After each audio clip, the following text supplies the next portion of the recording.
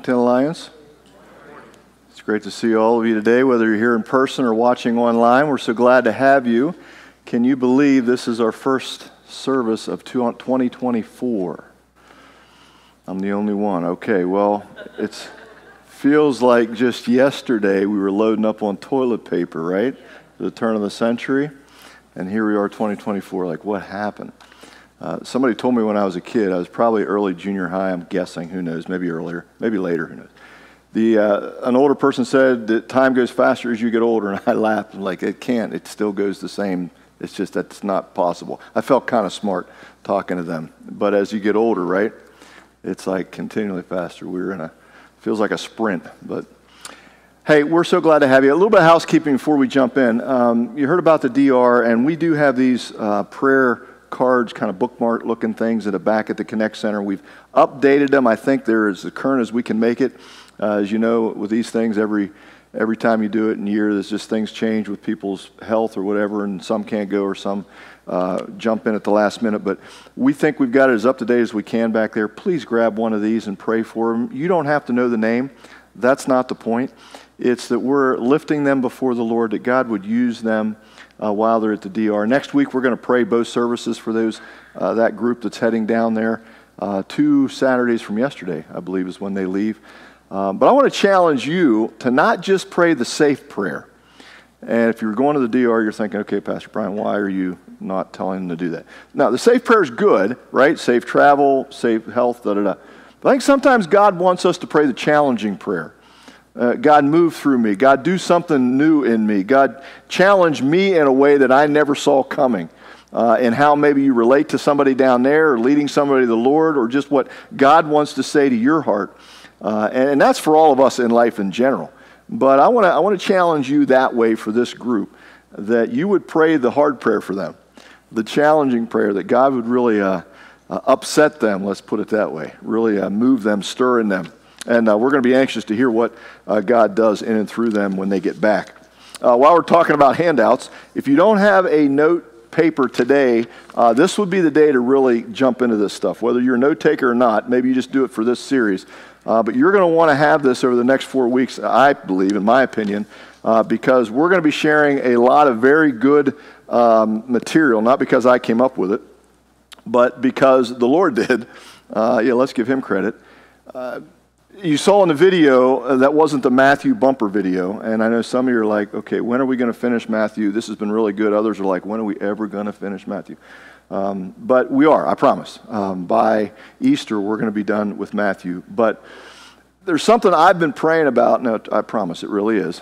You're like, no, it won't be. Yeah, it really is. something I've been praying about is this idea of finances, money. Um, it's something that's been on my heart for a while, something that's on, been on our leadership's heart for a while. And we were just praying, okay, God, when do we want to tackle this? Uh, when do we want to talk about it? And we felt like now is the, the right time. Now, if you've been part of our church, Washington Alliance Church, for any number of years, you know this is not a topic that we talk a lot about. We don't uh, designate series after series, the first of every single new year, uh, other than this year talking about this. I mean, we pray for our tithes and offerings every week. We thank the Lord for what His people give to His church to be used for Him and by Him and for this community and the ends of the earth. We pray for the missions fund. We really hit that in October during Missions Month uh, about what God is doing across His planet and worldwide missions. But you'll know we, this isn't something we constantly talk about. You know, and if you've not been part of a church for a while, or you're maybe just back, or you're new, you know, this stigmatism that uh, the church only always is asking for money, always asking for money. Um, well, that's not necessarily uh, our stance, and you've been here for a while, you know that. But um, we believe, I believe, this is something needed. Uh, we need to hear this. I need to hear this. I believe you need to hear this. God's people need to hear it. And we need to know what God says about it as well. Now, if you were here last month for our annual meeting, uh, you would have heard how our budgets uh, this year is a lot less than last year. Uh, you know, we're, we're, we have the Building for the Kingdom campaign, and incidentally, February 4th, we're going to have a special meeting in the evening uh, for that as we look at beginning the interior phase of that project, and we would love for you all to be here uh, for that. Now, I'd be lying to you if I said that didn't play a little bit of a part in this series. Absolutely, it does. But the reality is, it plays a small part into the bigger picture. Why is this so important? Why is it such an important topic? Because Jesus said it was. That's number one. Jesus believed that this was a, a very big topic, so much so he talked a lot about it. How much, you ask? He wasn't afraid to talk about money. He actually, outside of the kingdom of God, that, that uh, idea of the kingdom of God, Jesus spoke more about this than any other topic. It was his favorite topic. Jesus spoke more about money and possessions than about faith and prayer combined. He spoke more about money and possessions than heaven and hell. That's how important it was. God speaks of it all through uh, the Old and the New Testament in His Word. Uh, so much so, there's 2,300 verses, over 2,300 verses in the Bible about money, wealth, and possessions. 11 of Jesus' 39 parables, we'll look at one today. 11 of the 39 speak of finances. It's the most uh, talked about topic that Jesus spoke of. So much so that if we as pastors were to speak on finances as much as Jesus did, we would have to have a sermon about it every third Sunday. That's how often we would preach about finances. So, this is one of 17 messages you're going to hear till the end of the year. You good? Right? No, I promise there won't be that many. Just four. Why did Jesus speak so much of it? Why did God include it in His words so much? Because Jesus knew that this issue of money and possessions has the power to consume and derail us more quickly than anything else. That's true. There are very few topics that have more spiritual and practical implications for our lives, for our marriages, for our families, for culture, our nation, and our world than how we handle money or how money handles us. It's that important. And God is very uh, concerned about it, most of all for us in our spiritual growth. Let me give you a few statistics of why this is important. These are current within the last 8 to 12 months variety of resources. I didn't uh, list the resources, but there's a variety of them. 80% of Americans, 80% of Americans are in debt. 43% of couples married more than 25 years ago started off in debt. That doubles for those couples that were um, married within five years. 86% of couples married five years or less started off in debt. I think we have a, a slide for that there. Put that up. There you go. 86%, it doubles married five years or less started off in debt. Of those 86, of that 86%, 41% of those people say they felt pressured to spend more uh, than they could afford on their wedding. Of that 86%, 41% of them said that. Nearly two thirds, 63% of all marriages start off in the red, start off in debt. This is fact. Couple more. 62% of couples who argue in their relationship argue over disagreements about money. And of those arguing about money in their relationships, the average consumer debt is $30,000. That's just a, a general statement. But here's possibly the most alarming statistic nearly 40% of marriages that end in divorce is because of money. That's alarming. It's alarming to me. It should be alarming to you. It's certainly alarming to God because it breaks his heart. Why? Because God created marriage. Marriage is not a human institution, something that man just kind of made up one day, sitting around doing nothing. No, God instituted this. This was His design for His glory, for His purposes. And yet, 40% of those that end in divorce is because of financial issues. One of the things that we really need to understand right up front is that this always is a heart issue. Money is a heart issue. Our finances is a heart issue. God knew this. Jesus, in his, his um, ministry on earth, when he came to earth and, and his 30 plus years that he spoke, he knew this. He spoke about it, and he doesn't mince words when it comes to this topic. Let me uh, show you a couple scriptures right off the bat. If you have your Bibles, incidentally, open up to the book of Luke. Luke chapter 16, and this is going to be a, a chapter where we, we really camp out in the next four weeks. Uh, Luke 16, incident, um, in particular, verse 11, is where we're going to be uh, focusing. Uh, and also, if you want to put a finger in the book of Proverbs, uh, there's several verses we're going to look at this morning. We don't have them all on the screen. Uh, so, again, if you're taking notes, you're going to write these down. Just verse after verse after verse that God gives us about this important topic. While you're looking that up, Matthew 6, we've been going through that book together in the uh, Sermon on the Mount. Jesus speaks in chapter 6, verses 19 to 21. He says this Do not lay up for yourselves treasures on earth where moth and rust destroy, where thieves break in and steal. But lay up for yourselves treasures in heaven, where neither moth nor rust destroy, and where thieves do not break in and steal. And then look how Jesus ends this verse, verse 21. For where your treasure is, there your heart will be also. Luke records this same challenge in Luke 12, verse 34. It's about your treasure, it's about your heart, more importantly. The heart is the center of this, of this matter. Esther Dorotic once said, A heavenly perspective on money allows you to trust the treasurer, capital T, a person, the person of Jesus, rather than the treasure, lowercase t. That's what Jesus is saying, having a heavenly perspective of our finances, and that makes us focus on the treasure, on Jesus, rather than the treasure. This is a topic that God cares deeply about, especially of how it relates to our spiritual growth. Some of you know the name Randy Alcorn. He's an author, written several books, some on finances. He puts it this way it is impossible to become fully developed follower of Jesus, a fully developed follower of Jesus, without also becoming a fully developed um, steward of your resources. Let me say that again. Randy says it is impossible to become a fully developed follower of Jesus without becoming a fully developed steward of our resources. It's true. And God speaks of it um, a lot throughout His Word.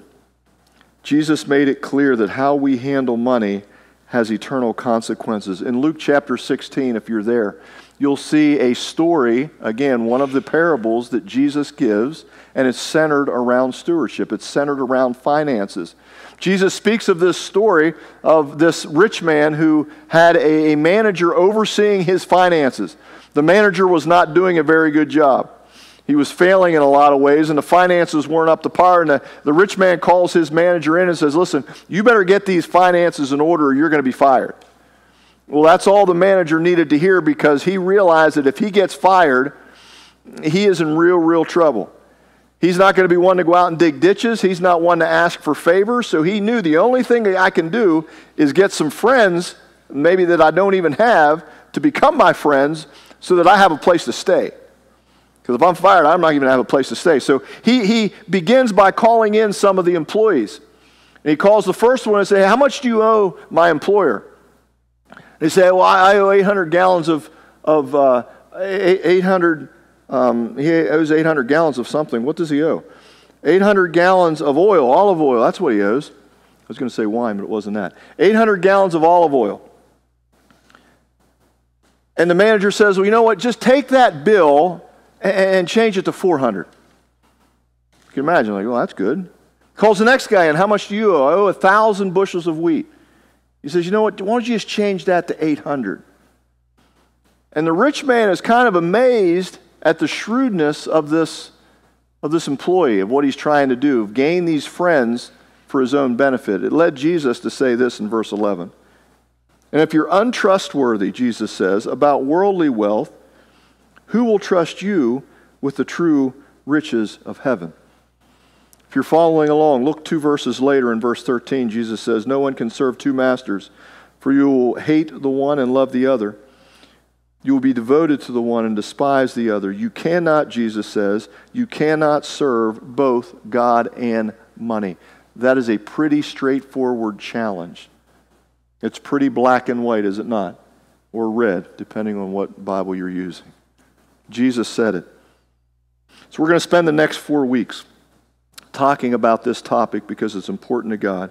We want to learn about God's principles, His promises for our finances. And we've actually decided to call this series Generous with an emphasis on those last two letters, the U and the S. We think about the word generous and just how generous God has been with us. I mean, think about that. Think our DR people who will be leaving in, in a week or so, a couple weeks you've ever been to a third world country or a very impoverished area, It sometimes is a wake up call for you. you. And it certainly was for me. I remember the first time I, I went to Cambodia, I went to Mongolia, a couple times in the Dominican, and seeing uh, people living on a dollar, two dollars, three dollars a day. And I'm reminded of how I've been blessed, right? And how a lot of times I'm foolish with how I've been blessed. And so we all can agree that God has blessed us individually, He has blessed us as a church family. He's been so generous to us. And the U and the S kind of play on words there at the end. That is you and I. And how do we factor into this? How do we respond to the generosity God has blessed us with? And so we're going to look at that over the next four weeks. I want to say that I've um, got a lot of these, uh, the research from a friend of mine, Pastor Tom Lundeen. He pastors a, a very large church out in Minnesota, been pastoring for many, many decades, far longer than me. And um, Orchard Alliance, which is a financial institution that we partner with. We're going to talk more about throughout this series. Uh, they have used uh, this, this series and a lot of the research he's done in several other churches as well. And so I want to thank Pastor Tom for allowing me to use a lot of this information that he has and his team has researched.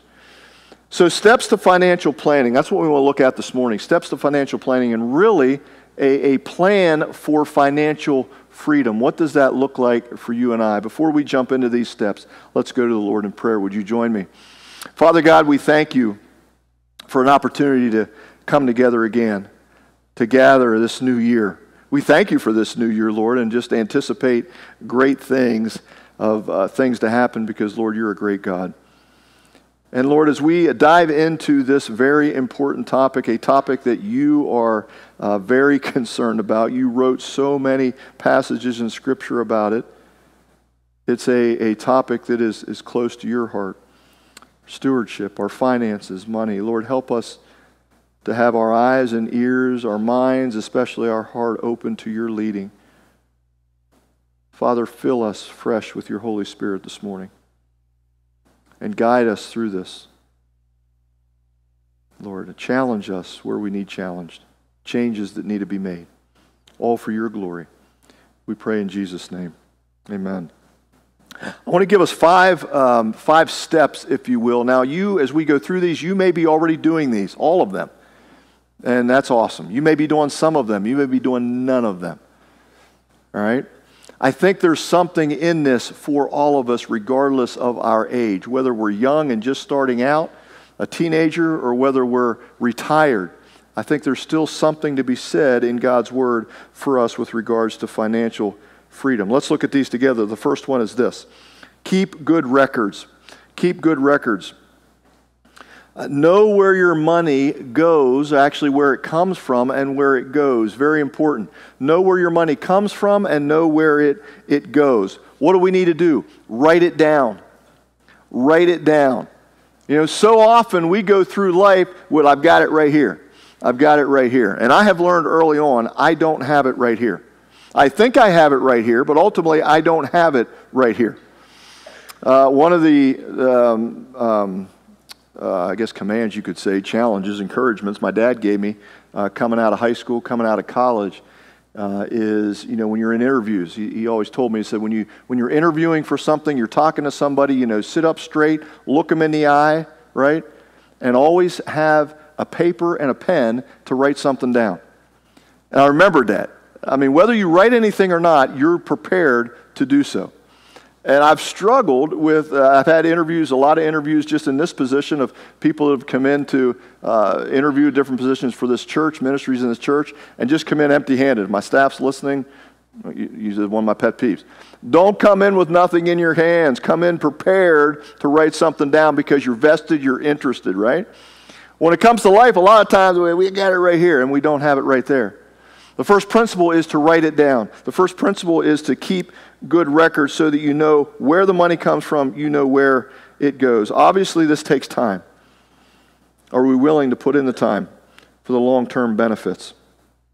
Proverbs 27, verses 23 and 24, the first part of 24 says this Be sure you know the condition of your flocks, give careful attention to your herds, for riches do not endure forever. That's Proverbs 27, 23, and 24. Now, you hear that or you read that, you're like, okay, Pastor Brian, I'm not a farmer. This doesn't apply to me. No, it does.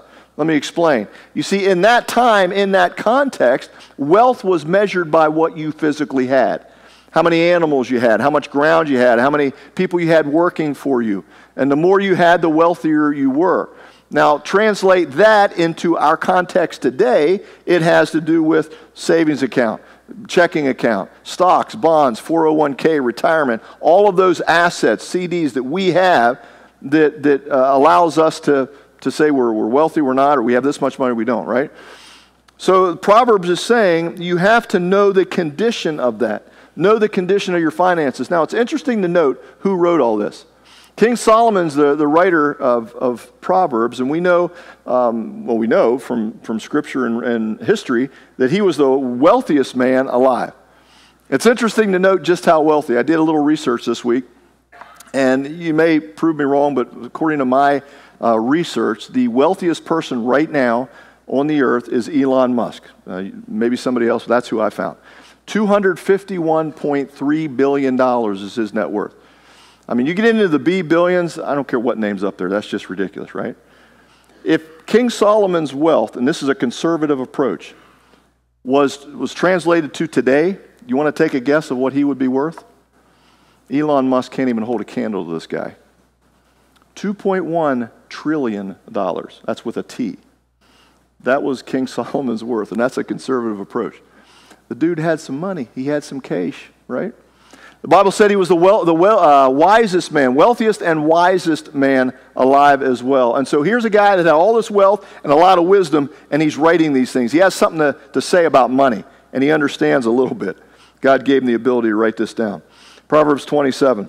It's saying that you and I, we need to know the condition of our finances. We need to know the condition of our finances. You've often heard the phrase money talks, right? Anybody ever hear that, that phrase, money talks? I don't even know who developed it, how long ago, but uh, oftentimes it has to do with, with power, right? With authority. Like the, the wealthier I am, you know, I, I, I can do things, or people just is going to let me slide because I'm wealthy and, and I have prestige and I'm known. I remember a friend of mine who's a police officer, he pulled this guy over one time, and this guy was exceeding the speed limit like by 20, 30 miles an hour at least. And he got up to the guy and he recognized who the guy was, incidentally. And the guy rolled his window down, and the police officer said, My friend said, Hey, can driver's license and registration? And the guy kind of looked at him before he got into his glove compartment and says, Officer, do you know who I am? My friend said, Yes, I do. Driver's license and registration, please. And I'm like, Yes. Give it to him, right? But the, the whole saying is true in a lot of people's hearts and minds. You know, power comes with money. Money talks. Well, can I tell you this morning, for most of us, money does not talk. Money does not talk. No, what it does is it slips away without saying anything and it doesn't even leave a forwarding address. That's the reality of money in a lot of our, our homes, is it not? And we're left. What happened? What happened? Where did it go? It was just here. It was just here a minute ago, and it's gone. It just slips away. Know where your money comes from, know where it goes. Can I tell you this morning, church, ignorance of your financial condition plus easy credit equals disaster. And that's the state of where we're at right now. And a lot of us are in that middle of that right now. We're ignorant to our financial condition, and the credit card companies are making it easier and easier for you to get credit and get credit cards. Just get them and fill them up, baby. Fill them up, and we'll take that 25, 30% interest, right? And a lot of us a lot of people are in that, in that hole. You get dug, you, uh, you dig in this hole, dig in this hole, and you can't get out. Keep good records. Write it down. Don't rely on keeping it in your head. That's the first thing. The second thing is this budgeting. Some of you are hearing this word for the first time. Like, what does that even mean? Is that a real word? Budgeting. Budgeting is simply this it is planned spending. Budgeting is planned spending. It's again writing down everything where the money is going to go. It's writing it down. It's, it's doing this on a yearly basis, maybe every six months. And what this will do, budgeting will help you tell your money where to go rather than wondering where it went. Isn't that a better place to be? Wouldn't you much sooner know where it's going rather than wondering what happened? Where'd it go? It just slipped away. No forwarding address. Budgeting will do that. Let's go back to King Solomon. Proverbs 21, verse 5. Proverbs 21, verse 5 says this Plan carefully, and you will have plenty. If you act too quickly, you will never have enough. You will never have enough. There is a popular misconception out there, and I fear too many people fall into this trap. This idea that financial freedom is determined by how much you make. Can I tell you this morning that is a lie? Financial freedom is does not determine by how much you make. It is determined by how much you spend. Financial freedom is determined by how much you spend. Why? Because we can never have enough. Can never have enough. Just one more dollar. Just one more dollar. Budget. Budget.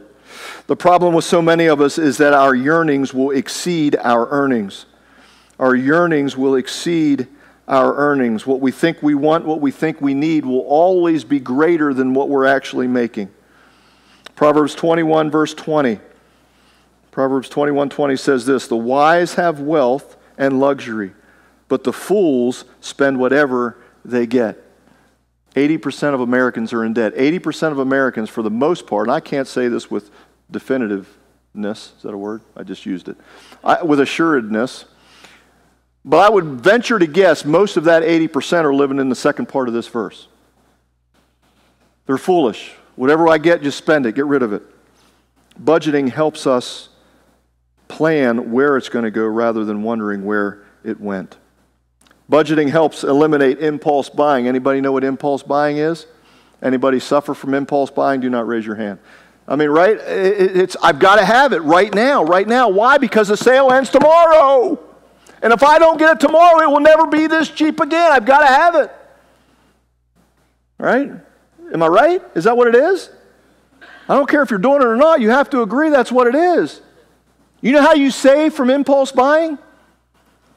50%, 40%. You know how to save 100%? Don't get it. Don't buy it. God bless her, my neighbor who passed away. I didn't realize the impulse buyer she was my word until they had gone through her, her basement. It was kind of that dark place that nobody went to. I was only down there a few times in the last 15, 20 years. But um, one of the, the cousins who went through that, um, when she had passed away, brought out a, a, a, hose end, you know, like you screw into the end of your hose, a nozzle. He says, Here, do you need a nozzle? I said, Well, I mean, I'll, I'll always use those dumb things. They're plastic, they break so easy says, Here, take it. I said, Well, that's all right. I don't need it. You take it. No, we've got 39 more of them downstairs.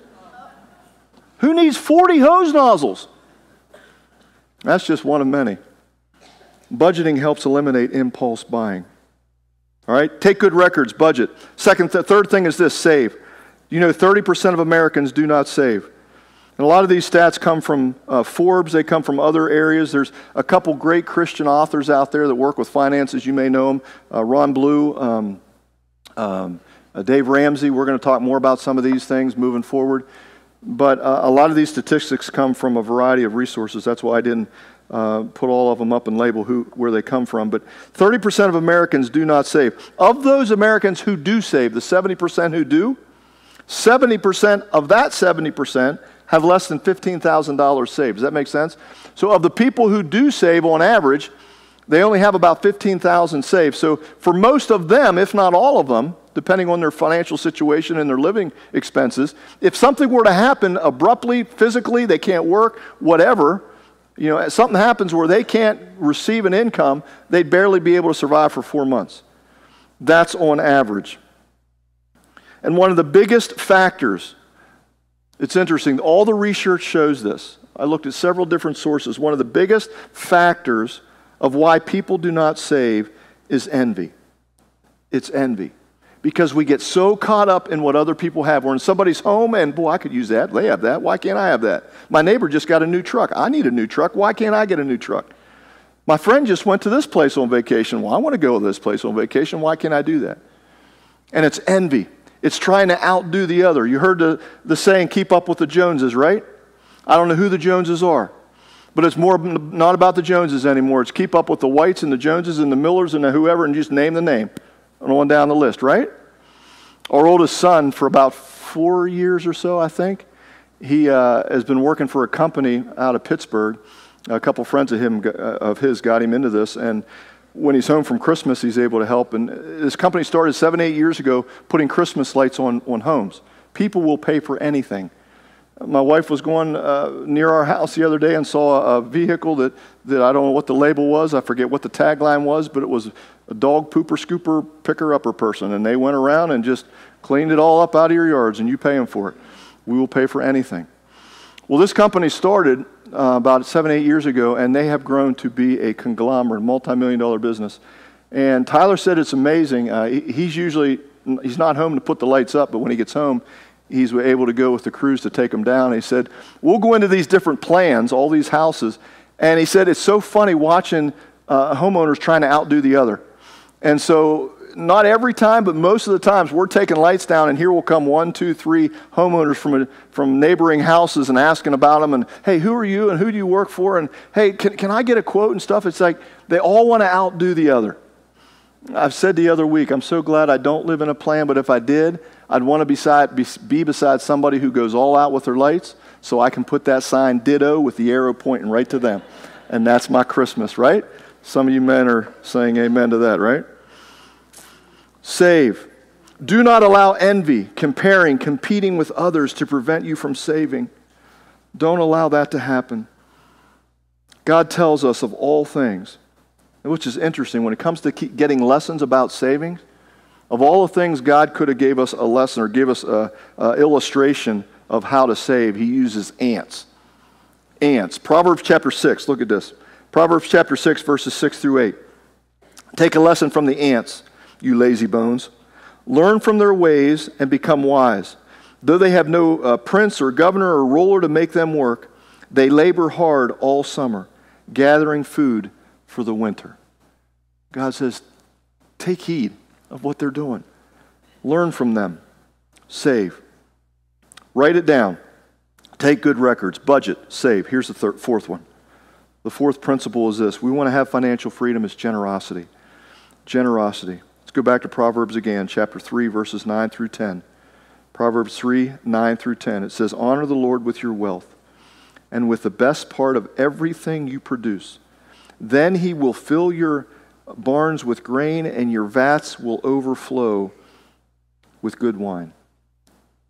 Put God first. Listen, church, we want God to bless something, put Him first. You want God to bless your work, put Him first in the middle of your work. You want God to bless your relationships, put Him first. Don't get the relationship and then say, Well, God, uh, now I need you to come fix this person for me. No, put Him first before it ever starts. You want God to be first in your work and your business and growing it, or you want to be blessed, put God first. You want uh, your marriage to be blessed, your marriage to grow, your marriage to be fruitful, and all that God wants to be, put Him first. You want your finances to be in order and God to bless them, put Him first. When we put God first, things work out a little differently. And a lot of times, every time, really in our favor, in God's perfect plans. Just putting Him first doesn't mean it's going to be blessed the way we want it to be blessed. But God will do it according to His perfect plan and His will. A couple points under generosity. How can we start? What's a good starting point? Let's go with this tithe. Tithe is a good starting point. Now, the word tithe simply means 10%. Now, why God chose that, I don't know. He could have chose 20, he could have chose 40, 50, 80, 90. I don't know. But he chose this tithe, 10%. People give more than that. People will give till it hurts. There's a, a saying out there give till it hurts. You can't out, outgive God. And that's true. That's true. But this is the only place, with regards to tithing, the only place that we're going to find in Scripture where God says, Put me to the test. Test me in this. You'll find other scriptures that say people tried to test God, but this is the one, Malachi 3, where he says, No, test me in this. Go ahead. See what I'll do for you. Let's look at it together. Malachi chapter 3, verse 10 towards the tail end of the Old Testament. The Bible says this Bring the whole tithe into the storehouse, that there may be found in my house. Test me in this, God says, says the Lord Almighty, and see if I will not throw open the floodgates of heaven and pour out so much blessing that there will not be room enough to store it. Church, that is not just applicable for Old Testament times BC before Christ. That is applicable today. God is saying, Test me in this. See if I won't bless you beyond you can even imagine. Now, that's faith. And we struggle in that because we don't see the outcome. We don't have our crystal ball and we don't know, right? We don't a lot of times make decisions unless we know the outcome. And um, that's, that's true of us, and that's good. But faith is trusting in God that His word is true, every bit as true as when it is written, and true today for me right here, right now. That's faith. And Jesus, God says, Test me in it. See, I'll prove it to you. I don't change. Hebrews reminds us of that. God's the same yesterday, today, and forever. He doesn't change. He says, Test me. And that's not just for the Old Testament. Look with me in 1 Corinthians 16. You're taking notes, jot this down. 1 Corinthians 16, verse 2. It says this On the first day, Paul writes, On the first day of every week, he challenges the church in Corinth. He says, Each one of you should set aside a sum of money, a tithe, an offering, Paul is saying, in keeping with your income, saving it up so that when I come, no collections will have to be made. Paul's talking about uh, saving up money, bringing money, bringing an offering to care for the poor that are in Jerusalem. He's saying the first day, Sunday, first day of the week, bring that tithe, bring that offering. So I don't have to come door to door knocking, hey, we need some money. Just bring that. We're using it for God's glory in this community and for these people. Start with a tithe, 10%, right up front, right at the very beginning taking it from the first fruits. I remember growing up as a kid, my, my grandfather, my grandfather used to talk to me about tithing, not all the time, but as a young kid, I didn't know what in the world he was talking about. And he's saying about, you know, you need to give your first fruits, Brian, give your first fruits. I'm thinking, Pap, what is that? Oranges, apples, pears? I love those things. He says, no, no, the first fruits of what you make. Now, that didn't mean a lot to me back then, but I think about that even today. Before all these other demands take from what God has given me and blessed me with, giving the first fruits to Him, to be used by Him and for Him and for His church. Give with a gratitude as a declaration of faith. I'm giving to you, Lord, a declaration of faith. You're going to use it for your glory. And the last thing, make God your first priority. Make God your first priority. Why? Because He owns it all. He owns it all. You say, Well, I've worked so hard for where I am, for the status that I have, for the finances that I have, for the business that I've created. I put long hours, blood, sweat, tears, and whatever else came out of me to make this business the way it is and put me in a position that, I, that I'm in today. My question to you is who gave you those skills? Who gave you that knowledge? Who gave you that ability? Who gave you your next heartbeat or your next breath? God did. Who created you? God did. And when we have the eternal perspective, which is what Jesus wants, we have the eternal heavenly perspective, everything changes. We realize, God, it's all yours. It's all yours. Do with it what you will for your glory. Generosity. The last thing is this, quickly contentment. Contentment. We struggle in probably a lot of these areas, but this might want to be, be one of the biggest contentment. Ecclesiastes 6 9, enjoy what you have rather than desiring what you don't have. Ecclesiastes 6 9. Enjoy what you have rather than desiring what you don't have. Hebrews 13 5. Hebrews 13 5. Don't love money. Be satisfied with what you have. For God said, I will, never fa- I will never fail you or leave you, and I will never abandon you or forsake you. Leave and forsake. Don't love money. I will never leave you, I'll never forsake you. Learn to be thankful and enjoy what you have. Contentment is learning to be thankful and enjoying what you have. If you have your Bibles, you want to flip over to Philippians chapter 4, a little farther in the New Testament for those of you who are quick with the sword drill. Philippians 4, there's a verse in there, tucked away in there, that we have taken out of context for years and years and years. Philippians is probably one of the most intimate um, letters that Paul has ever written to the church in Philippi. It is uh, uh, just a, such a personal letter with so much passion, uh, probably more so than any of the other writings that uh, Paul uh, has written. And uh, tucked away in chapter 4 and verse 13 is a verse that probably most of us have heard and know very well. And it says this I can do all things through him who gives me the strength. I can do all things through him who strengthens me. And so often we've looked at that verse and said, "Oh, that's great. That means I'm like a spiritual superman. I can do anything. God, give me the strength. I can do anything." Right? Now, the reality is, if God gives you the strength to do something and He has a plan for you to do it, it's going to get done. And if you're not going to do it and we're going to be stubborn, He'll use somebody else. When God has a plan, His plans get done. His promises are true. Right? There's not one that isn't. And so we, we've taken that verse to the context of, well, then I can just do whatever I want. And that, that's not what Paul was saying. He's speaking of contentment. How we know that? Back up a few verses. Look at verse 10 with me. I think we have it on the screen. There it is. I rejoice in the Lord greatly that now at length you have revived your concern for me. You were indeed concerned for me, but you had no opportunity. Not that I'm speaking of being in need, for I have, watch this, learned in whatever situations I am to be content. I know how to be brought low. I know how to, to abound in any and every circumstance. I have learned the secret of facing plenty and hungry, hunger, abundance and need. And here it is. I can do all things through him who strengthens me. Paul is speaking of being content, knowing what it is to have much and have nothing, knowing how to survive with little and with much with friends and with none, and fill in the blank. And he's saying, How can I survive? Because through Christ I can. He gives me the strength. I can do all things through him, whether I have much or whether I have little. It doesn't matter. Paul says, I can be content. And he has learned, notice that?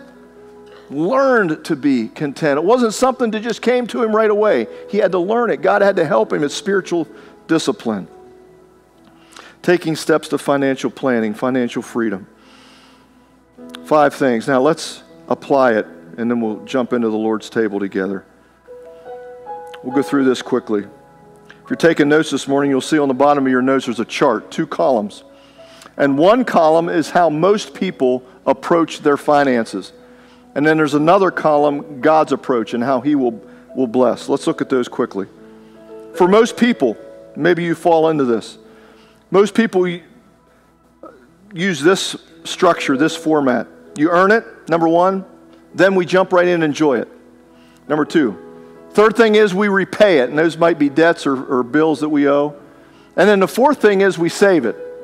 That's for the future. And then the last thing, if there's anything left, we'll give it eternal. The, the last fruits of what we have. If there's anything left, we'll give God, a, give God a tip, right? Think of it, you go into a, a restaurant and the waiter and waitress, whoever, waiter or waitress, and they're, you know, they're predicated, your, your tip for them is going to be predicated on how well they do, right? I mean, were they good service? Were they there right on time? Was my drink filled as soon as it was only a third empty? I mean, right on top of it, right? Was the food good? Knowing that she or he had nothing to do with making it, but if it's not good and it's cold and it's not right, it's their fault. And so then we decide at the end of that how much tip we're going to give them. Don't shake your heads at me. You've all been there. In church, we do that with God.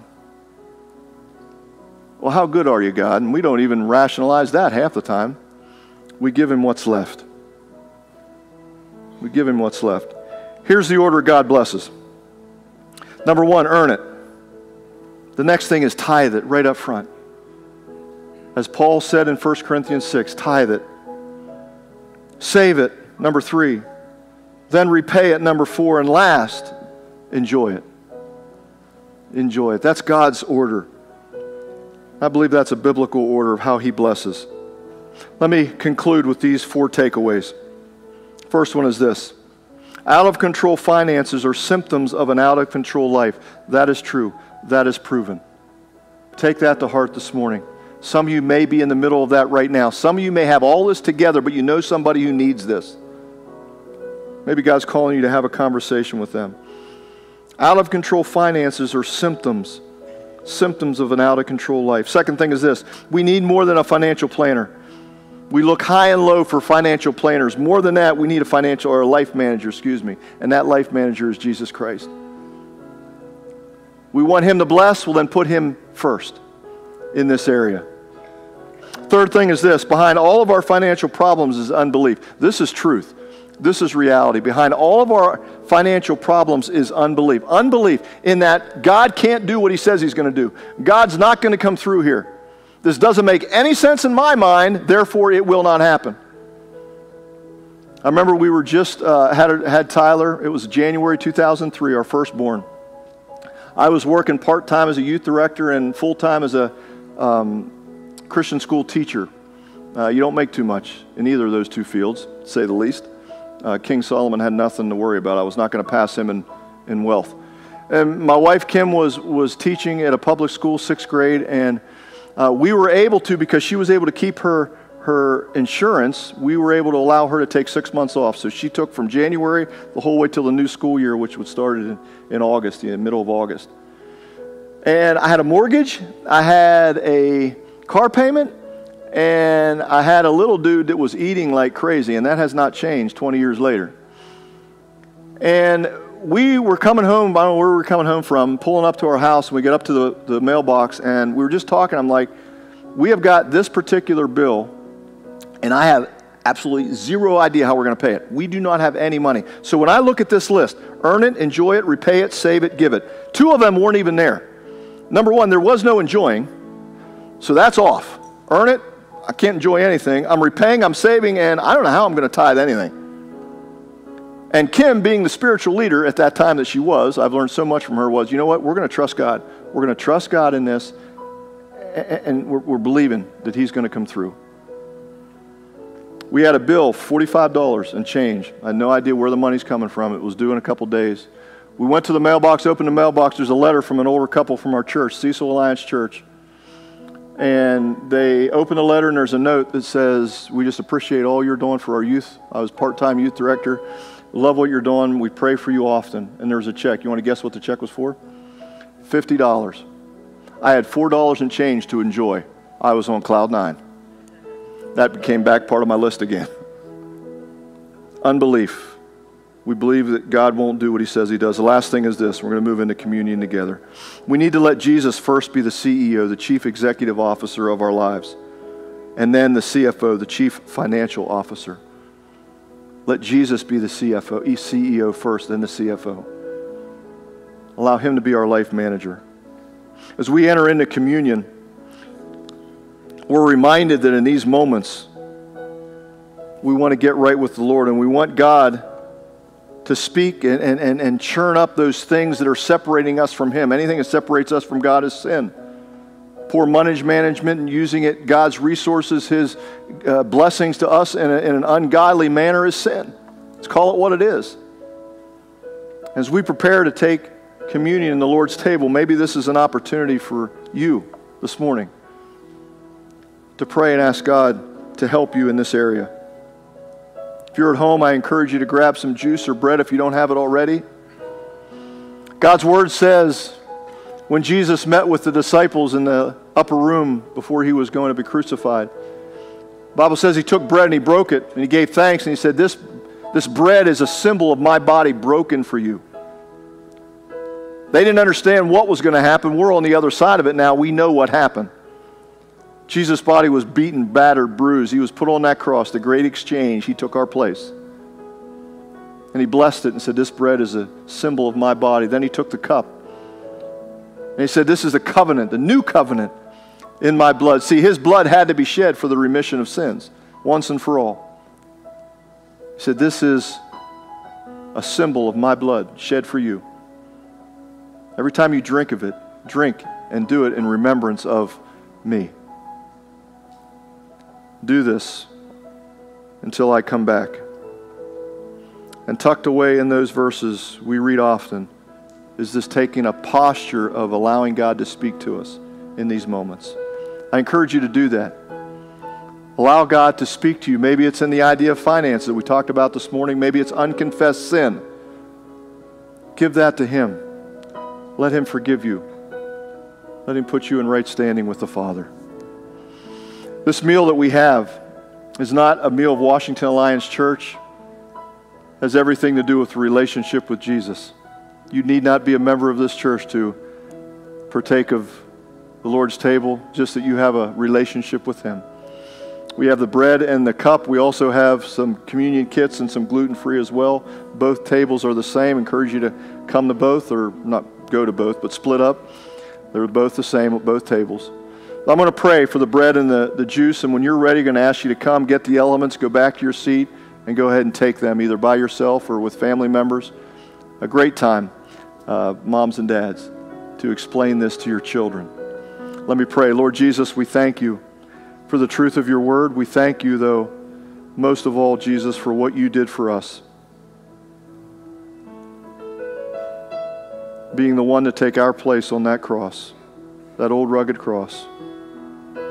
Lord, your body that was broken, it was beaten, it was bruised for us. As we eat of this bread, we're reminded of that. And Lord, knowing that the only way for us to have freedom of our sin, the guilt and chains that bind us of our sin, was for your blood to be shed on that cross that day. And Lord, as we drink of this juice, we're reminded of that once and for all for the remission of sins. And Lord, in these moments, Lord, may you open up our hearts. May your spirit move in such a way that change is brought to light, needed change is brought to light, sins that need confessed is brought to the light, and we confess them to you, the only one who can forgive us of our sins. Lord Jesus, may we do that now. Amen. Amen. When you're ready, we invite you to come forward.